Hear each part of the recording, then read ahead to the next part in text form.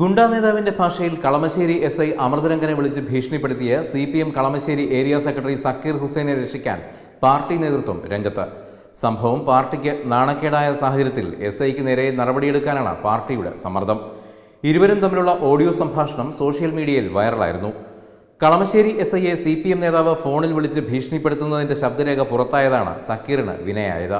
കളമശ്ശേരിയിലെ രാഷ്ട്രീയവും മറ്റും നോക്കി ഇടപെടുന്നത് നന്നാകുമെന്നാണ് സക്കീർ ഭീഷണി മുഴക്കിയത് എന്നാൽ തനിക്ക് അങ്ങനെ ഒരു നിലപാടില്ലെന്നും നേരേവ നേരേവോ എന്ന രീതിയിലാണ് പ്രവർത്തിക്കുന്നതെന്നും എസ് ഐ മറുപടി പറയുന്നുണ്ട് ഇവിടെ ഇരിക്കാമെന്ന് ആർക്കും വാക്ക് കൊടുത്തിട്ടില്ലെന്നും സക്കീറിന് എസ് ഐ മറുപടി നൽകി ഓഡിയോ സംഭാഷണം പുറത്തു വന്നതും സക്കീറിന് ക്ഷീണമായി വിവാദത്തിൽ പാർട്ടി ഇടപെട്ടതിന്റെ പ്രധാന ലക്ഷ്യം സക്കീറിനെ സുരക്ഷിതമായി സംരക്ഷിച്ചു നിർത്തുക എന്നതാണ് ഇതിനായി എസ് ഐക്ക് മേൽ നടപടിയെടുക്കാനാണ് പാർട്ടി സമ്മർദ്ദം ശക്തമാക്കിയിരിക്കുന്നത് നടപടിയെടുക്കുന്നതിന്റെ ഭാഗമായി എസ് ഐ അമൃതരംഗനെ അസിസ്റ്റന്റ് കമ്മീഷണറുടെ ഓഫീസിലേക്ക് വിളിച്ചു വരുത്തിയിരുന്നു സി പി എം ഇടപെടലിനെ തുടർന്നാണ് എസ് ഐ എ സി വിളിപ്പിച്ചത് എന്നാണ് സൂചന ഇതോടെ എസ് ഐ അമൃതരംഗന് സ്ഥലമാറ്റം ഉറപ്പായിട്ടുണ്ട് എസ് ഐയെ സ്ഥലം മാറ്റി തൽക്കാലം മുഖം രക്ഷിക്കാനാണ് പാർട്ടി ഒരുങ്ങുന്നത് അതേസമയം സ്ഥലം മാറ്റത്തിന് താൻ സന്നദ്ധനാണെന്ന് എസ് ഐ സഹപോലീസുകാരെ അറിയിച്ചിട്ടുണ്ട് തന്റെ ഭാഗത്തു നിന്ന് തെറ്റൊന്നും സംഭവിച്ചിട്ടില്ലെന്നും സഹപ്രവർത്തകരോട് എസ് ഐ വ്യക്തമാക്കിയിരുന്നു എസ് ഐയും സക്കീർ ഹുസൈനും തമ്മിലുള്ള സംഭാഷണം പരിശോധിച്ച് അതിൽ അപാകതയുണ്ടോ എന്ന് പരിശോധിക്കാനാണ് പോലീസ് നീക്കം സംഭാഷണങ്ങളിൽ കുഴപ്പമില്ലെങ്കിൽ വകുപ്പ് തല നടപടി എസ് ഐക്കെതിരെ വരില്ല എന്നാണ് പോലീസ് വൃത്തങ്ങൾ നൽകുന്ന സൂചന രണ്ട് മാസം മാത്രമേ ആയിട്ടുള്ളൂ കളമശ്ശേരിയിൽ എസ് ഐ അമൃതരംഗൻ എത്തിയിട്ട് അതിനു മുമ്പ് ഇൻഫോ പാർക്ക് പോലീസ് സ്റ്റേഷനിലായിരുന്നു ജോലി ചെയ്തത് മലബാർ ഭാഗത്ത് നിന്ന് സ്ഥലം മാറ്റം വാങ്ങിയാണ് ഇൻഫോ പാർക്ക് പോലീസ് സ്റ്റേഷനിലേക്ക് അമൃതരംഗൻ എത്തുന്നത്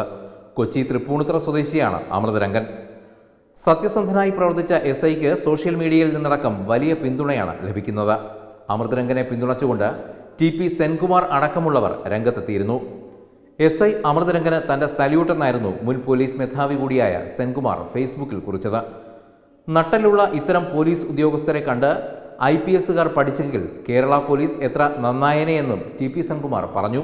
അതേസമയം എസ് ഐയെ ഭീഷണിപ്പെടുത്തിയ സംഭവത്തിന്റെ പശ്ചാത്തലത്തിൽ സക്കീർ ഹുസൈനെതിരെ പഴയ വിവാദങ്ങളും തലപൊക്കിയിട്ടുണ്ട്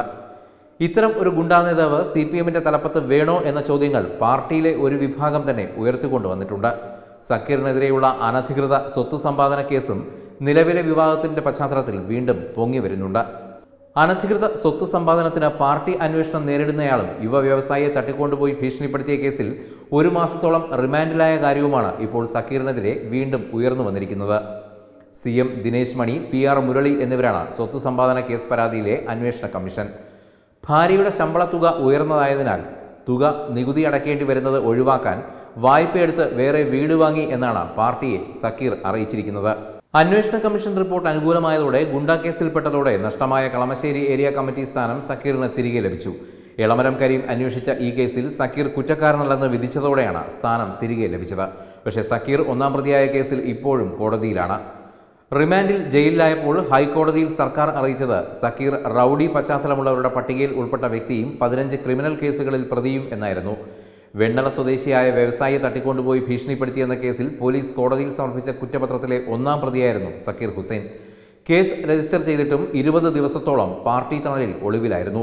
സി പി എം സംസ്ഥാന സെക്രട്ടറി കോടിയേരി ബാലകൃഷ്ണനും എറണാകുളം ജില്ലാ സെക്രട്ടറി പി രാജീവും സക്കീറിനെ പിന്തുണച്ച് എത്തിയതും വിവാദങ്ങളുണ്ടാക്കി കൊടി സുനിയെയും കിർമാണി മനോജിനെയും പേടിക്കുന്ന പാർട്ടിക്ക് സക്കീർ ഹുസൈൻ എന്ന ഗുണ്ടാ നേതാവിനെ നിലക്കി നിർത്താൻ കഴിയുമെന്ന വിശ്വാസം അണികൾക്ക് പോലുമില്ല നേതാക്കൾ പരസ്യമായി പോലീസുകാരെ പോലും ഭീഷണിപ്പെടുത്തുമ്പോൾ വോട്ടർമാർ ഓർമ്മിച്ചെടുക്കുകയാണ് എല്ലാം ശരിയാക്കും എന്ന ആ പഴയ മുദ്രാവാക്യം വെബ് ഡെസ്ക് തത്തുമൈ ന്യൂസ്